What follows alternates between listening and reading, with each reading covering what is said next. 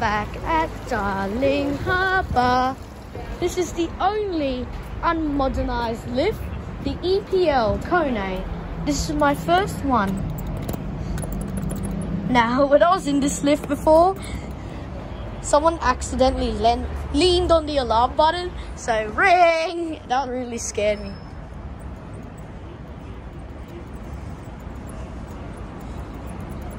So Hydro, I hate Hydro.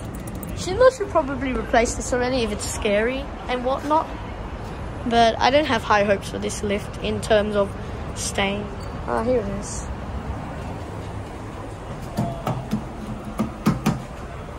Why there's so many buttons?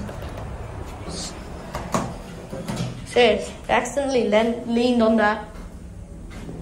As the original indicator with a weird arrow shape.